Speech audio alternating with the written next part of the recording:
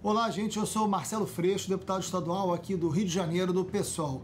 Eu quero me dirigir a vocês aí de Pernambuco, dizer que eu tenho um respeito e um carinho muito grande por essa terra e dizer que o PSOL tem um excelente candidato, que é o Zé Gomes, a única verdadeira alternativa que pode fazer com que Pernambuco vire um espaço de uma democracia de direitos, não um espaço de propaganda enganosa. Existe uma Pernambuco que é é, o dia a dia real das pessoas com graves problemas sociais e de mobilidade, por exemplo, e uma outra Pernambuco que é aquela da propaganda, da mídia e dos governos que são todos muito parecidos. Vocês têm uma alternativa de fato que pode devolver uma democracia de direito, uma democracia por inteiro e não pela metade. Zé Gomes, PSOL 50. Beleza. Fechadinho.